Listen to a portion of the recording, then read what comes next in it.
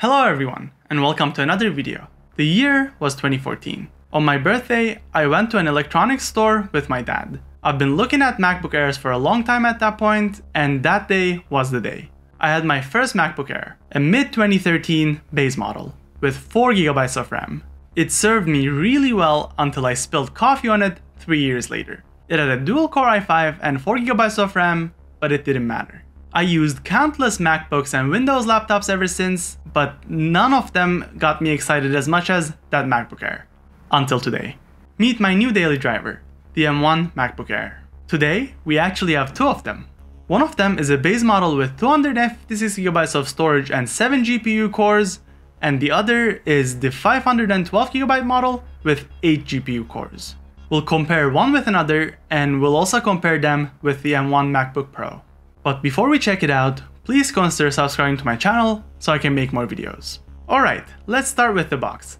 Is it just me or are these boxes getting harder and harder to open? Anyways, in the box, you get the MacBook Air, some documentation, a USB-C to USB-C cable, and a tiny 30 watt USB-C charger.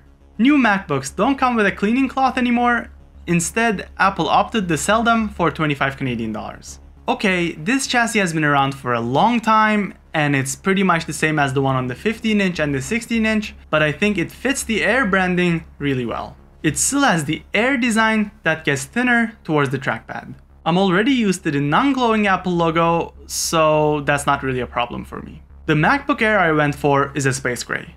The 16 inch before that was a space gray. The 15 inch before that was also space gray.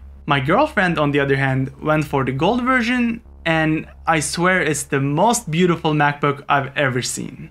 As per tradition, you can easily open the lid only with one hand. I could do this with the 16-inch MacBook Pro as well, but it definitely wasn't as easy as this one, despite the 16-inch Pro being heavier. Speaking of heavy, this computer only weighs just above 1.25 kilograms. You can easily carry it with one hand and use the other hand to type on it. This might sound weird, but I do this quite often. When you open the lid, the computer automatically turns on and plays the oh so familiar Apple chime. Well, I don't know why people are so obsessed about this, I actually preferred the silent boot. Anyways, it's very unlikely that you'll ever shut down this MacBook, so it shouldn't be a problem. In terms of ports, you get two Thunderbolt 3 ports and a 3.5mm headphone jack. That's it. This used to be a problem 5 years ago, but now that USB-C dongles are so popular and widespread, I have no problem with it. A $40 dongle will get you 3 USB 3 ports, 1 HDMI port, and an SD card reader. There is only one display size for MacBook Airs, 13 inches. It has pretty much the same screen as the M1 MacBook Pro, except that that one has a peak brightness of 500 nits, while this one is capped at 400. It has a resolution of 2560 by 1600 and has True Tone. The bezels are quite thick, especially on top. I think it has similar bezels to the 16-inch MacBook Pro, but as this one is smaller, it's more noticeable. The top bezel houses the camera, which is in dire need for an upgrade. It has the same 720p camera that Apple has been using for I don't even know how many years, and considering the fact that most of these will be used as zoom machines, Apple should have gone for a 1080p one. There is obviously no touch bar, but Apple is getting rid of it anyway. What state is the Touch ID sensor, and I'll talk more about it later. The keyboard is supposed to be the same as the one on my MacBook Pro, but from personal experience, I can definitely say that these ones have more travel compared to my MacBook Pro keys. Regardless, typing on this keyboard is not only very easy, but also quite fun. Interestingly, they got rid of keyboard brightness adjustment buttons for dictation and don't disturb. I know that MacBooks adjust the keyboard backlight brightness automatically, but I still liked having them there. The trackpad is one of the components that remain the same, but I really can't blame Apple for that. For years, MacBook trackpads have been vastly superior compared to Windows trackpads. Windows laptops are closing the gap, but it's still not the same. It is somewhat smaller than the trackpad on the 13-inch MacBook Pro, but at least in my opinion, it doesn't affect anything. Force Touch is one of those features that never got popular, but I love it. I loved it on my iPhones too, until Apple took that away from me. As I said earlier, when you open the lid, the computer turns on by itself. And if you're turning it on for the very first time, you'll need to set it up. The whole setup process takes less than 10 minutes, then you're ready to go.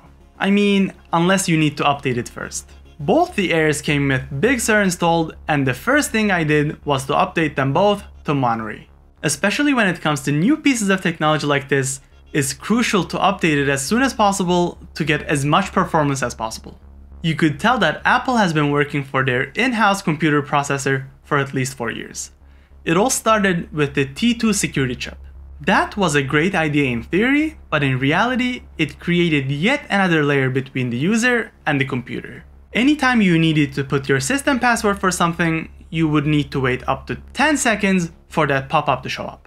16-inch MacBook Pros had an issue where the keyboard would lag as long as you were using the integrated processor. They also had problems waking up from sleep, causing a restart. MacBook users suffered for 5 years, but ultimately they got something revolutionary. Using this computer for daily tasks is simply amazing. You never have to wait for anything to load and you absolutely never see that annoying spinning ball. Again, you might be surprised, but those issues were quite common among MacBooks with T2 chips. When I had my old Air, I used Safari as much as possible as it had decent performance and better battery life. I've changed since then and started using Chrome on macOS as well. With this Air, my old habits came back. To be honest, it doesn't matter what browser you're using on this laptop, you won't experience any lags. And I'm not just saying that.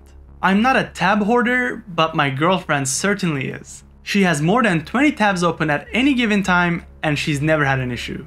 When you open the lid, the air immediately wakes up and starts waiting for you to put your password or use the Touch ID sensor. Alternatively, if you have an Apple Watch, you can use it to unlock your MacBook too. This is a feature that you don't think you need until you start using it. The fact that you don't need to do anything to unlock your computer is simply amazing, especially if you work in an environment where you lock your computer quite often. When the M1 chip first came out, there were some apps that didn't natively support it. Apple was prepared for this though, and they had a very impressive emulator that managed to get those apps to work. They ran a little bit slower than native apps, but they were in no way slow. I tested this firsthand as I tried out an M1 MacBook Pro last December. I'm very happy to report that the new architecture definitely caught on as among all the apps that I have installed, OneDrive is the only one that doesn't natively support this processor. It still works just fine though. Also, no matter how many apps you have open, it won't warm up. And fans won't get loud either, as it has no fans. I've been writing the script for this video on my Air, and it's a breeze. I usually take a couple days to write a script as my hands get tired or I simply get bored. This keyboard makes me want to keep typing. This is highly subjective, but the wrist rest length is perfect for me both when I'm sitting at a desk or when I have the laptop on my lap. The function key now doubles as a language switch, just like the one on the iPhones. That is quite useful for me. As I said earlier, it has the same 720p camera that Apple has been using for a very long time. There is finally a 1080p one, but it's only available on the new 14 and 16 inch MacBook Pros, as well as the new iMac. Not all hope is lost though. Now that Apple switched to ARM for their Macs, they can finally use the same camera algorithms that they do on their iPhones. The photos you take with it won't be Instagram worthy, but they will be perfectly fine for Zoom and FaceTime calls. This is how I look and sound like when I use the integrated FaceTime webcam and the microphone array. And this is the integrated webcam and the microphone array of my Dell laptop. And for comparison, this is from my iPhone. By the way, if you open Photo Booth and start moving your head around, you'll see the algorithm in action. The biggest downside of the last MacBook Air was the screen, which was already out of date when I bought it in 2014. It was a TN panel with horrible viewing angles, and I'm really glad that Apple went for the full Retina display for the new Air. Although its maximum brightness is slightly lower than the one on the MacBook Pro, in regular use, I can't see a difference. To be honest, I can't really see a difference between this one and the 16-inch MacBook Pro either, except the screen size. This caters to another main use case of this MacBook, content consumption. Speaking of content consumption, it's speakers. It is a top-firing stereo setup, just like most new MacBooks. On paper, the only difference between the Air and the Pro is high dynamic range. And frankly, I don't know what that means. The speakers go quite loud, not as loud as my 16-inch Pro, but regardless quite loud.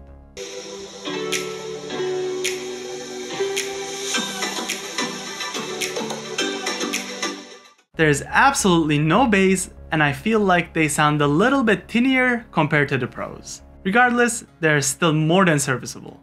Then there are the quality of life features that apply to all MacBooks. These are features that you just get used to. You have your iMessages as well as your regular messages on your MacBook. You can make FaceTime calls. You have AirDrop. You can copy from your iPhone and paste it onto your MacBook. If you have a Safari tab open on any iDevice, you can easily hand it off to your MacBook. One quality of life feature that the MacBooks don't have is window snapping. Honestly, I find it to be super useful and I don't think I can live without it. Better Touch Tool is a fantastic app that lets you customize many aspects of your MacBook, including the keyboard, the trackpad, and if it applies to you, the touch bar. Moreover, it also has a window snapping feature. If you don't think you need all those features though, you can just install the Better Snap tool from the Mac App Store. It's a paid app, but it's completely worth it, in my opinion. By the way, the reason why Apple is not offering this as a native feature is that it's patented by Microsoft. I said in the very beginning of the video that this computer makes me feel the same way I did when I got my first MacBook Air. That laptop had an impressive battery life, I even got 13 hours once. Well, this Air outdoes that. I usually keep my laptop plugged in during the day, but one day I chose not to. I started my day at 10 am. I used my laptop as I normally would. I had 6 to 7 tabs open, among which one was YouTube or Netflix. I had a Word document open, I had my mails, I had a couple FaceTime calls, I did a Zoom call once, and at the end of the day, after 12 hours, the battery was at 50%. So I used my computer for 12 hours and I only consumed 50% of the battery. This use case will represent the use cases of current and prospective MacBook Air users. The battery life on these is unbelievable, and it gets even crazier on the M1 MacBook Pro. You might be impressed by how small the included charger is, but as it's only rated at 30 watts, charging it from 20% to 80% will take a little bit more than 2 hours. If you're a student, you can get the base model M1 MacBook Air for 1169 Canadian dollars. And from what I understand, those sell like hotcakes. For a good reason. Although all MacBook Airs have the M1 processor, the base model is missing a GPU core. I can't tell why Apple chose to do that, but from personal experience, I compared my MacBook Air with my girlfriend's, and in daily use, there is literally zero difference. So don't let that confuse you. What could make a difference a few years down the line is the RAM. Both the MacBook Air and the MacBook Pro come with 8GB of RAM by default, and it's not user upgradable. macOS is great at RAM management, and coupled with a super fast SSD, I wouldn't be concerned about it, but if you do have a couple hundred dollars lying around, it would not be the worst idea to invest that in 16GB of RAM. Don't pay for extra storage unless your applications are gonna take a lot of space. Now, you might be thinking why one would get the Pro instead of the Air. At the end, they have the same storage, same processor, same RAM, and same screen. First and foremost, the MacBook Air is completely passively cooled, while the MacBook Pro has a fan. This will make a difference if you run long and processor intensive tasks. If you're in engineering or computer science and you're worried about compiling your code, do keep in mind that most code compiles in a couple seconds. So that's not what I'm talking about. Secondly, battery life. The battery on the Pro is around 16% larger than the one on the Air, and as a result, you get 20 hours of battery life instead of 18. You also get a touch bar if you're into that. Would I get the Pro or the Air? Well, I tried them both and I went for the Air. And I really think you should too. It's lighter than the Pro, it has the same ports as the Pro, it performs really similar, yet it's cheaper. In Apple's current product lineup, I don't think it makes any sense to buy the M1 MacBook Pro right now. You either get the M1 Air or the 14-inch MacBook Pro. If you're considering waiting for the new MacBook Air, I have a feeling that it will be named MacBook. I'm saying this because the M1 is still a very powerful processor and any performance upgrade beyond this point will result in a price increase.